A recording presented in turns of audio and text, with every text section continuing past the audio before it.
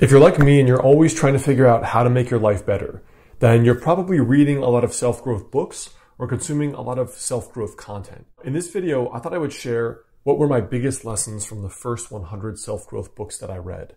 Actually, every year I read about 100 of them. But what were the biggest five things, the most common themes that I saw? And I think it'll really help you. What's up, you guys? Alex Heyne here. So before we jump in, I've put together a free journaling worksheet right below this video that will help you figure out how to get your life together and design your dream life going forward.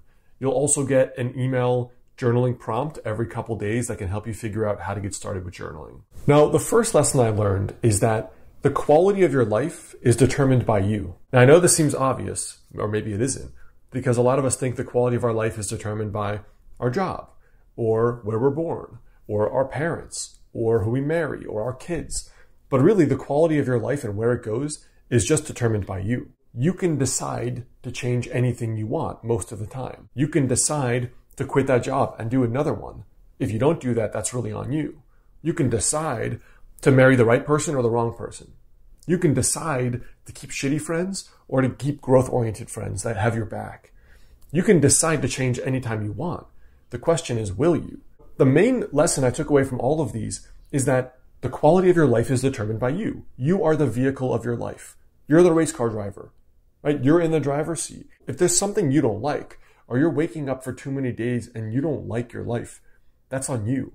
And that's up to you to change and you can change it. You're the vehicle. The second thing I took away is that the problems in your life are usually your responsibility. So I know this sounds hard if you have an awful boss who's just throwing all this work on your lap and is completely lacking empathy and is not that friendly, or you work with people that suck, or you're married to someone that sucks, or your friends suck, or whatever it is. I know it sounds hard to say that it's on you, but really it is on you. Because if you take a relationship, for example, whether it's a friendship or a romantic relationship, if you have one deeply unconscious person who doesn't have their life together and is deeply flawed, and then you have another one who doesn't have their life together and is deeply flawed, that relationship is going to be problems all day long. That is going to be a hard relationship to be in because you have two deeply unconscious people who are very unstable. But if you have even one person who's got it together and is growth oriented and is doing their best, even a deeply unconscious person will bring that down, that average, but it's going to be much more stable and much less drama than two people here. Whether it's work or it's a friendship or romantic, the problems are up to you to solve. Right? Of course, you can't control the economy collapsing. You can't control COVID. You can't always control illness, but you can control what you end up doing. If you view all your problems as caused by you, my health, yeah, my work is stressful, and yeah, I'm an entrepreneur, and there's a lot of variability. Still my fault. It's my responsibility. Or if my relationship is bad, it's my responsibility to fix it and apologize to my girlfriend or work on something about myself. Or if I don't like the people I work with, having candid chats, trying my best, and if that doesn't work, quitting that job. Those are all up to me. The third lesson I learned is that character is the most important quadrant of your life. When everyone does these like whole life pies, like relationships, finances, personal time, health, friendships, what they never say is that in the middle, the center that holds the spokes together is your character. Your character is being someone who has a good work ethic, who's disciplined, who does what they say, who is industrious and is creative. Your character goes back to being the engine. That is always going to be the most important quadrant of your life because an undisciplined person will never even do the things that will help them be healthier.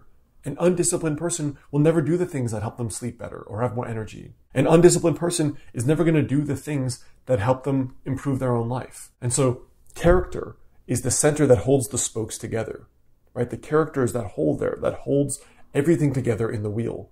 And so character is much harder to develop. It's easy to flake. It's easy to say something and not do it.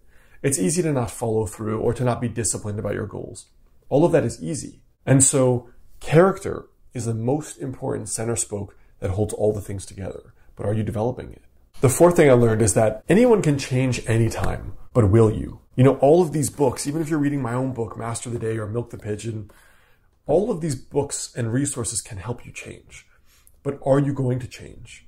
You know, one of the most enlightening things I observed as a kid was that most of the problems people have are the result of doing the same thing and expecting a different result.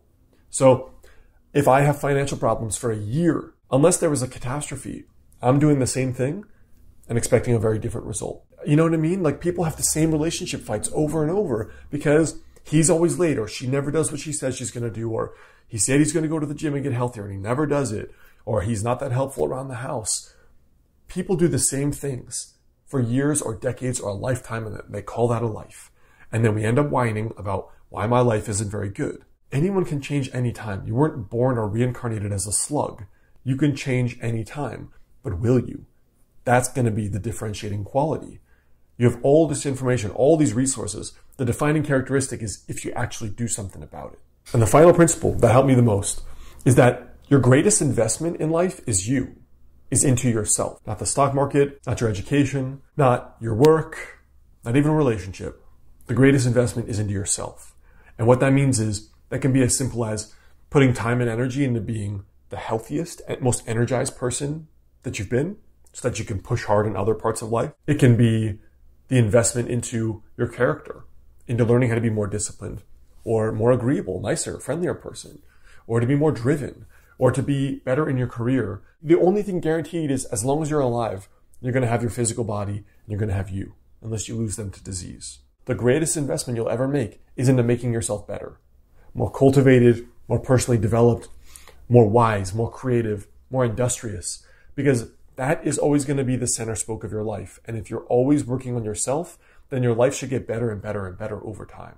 It shouldn't be getting worse or staying the same. The greatest investment is you because you can lose money. You can lose a person you're dating or married to. You can lose everything.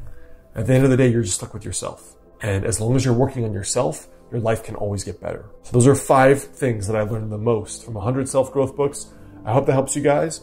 Check out the journaling worksheet below and then the related videos right there.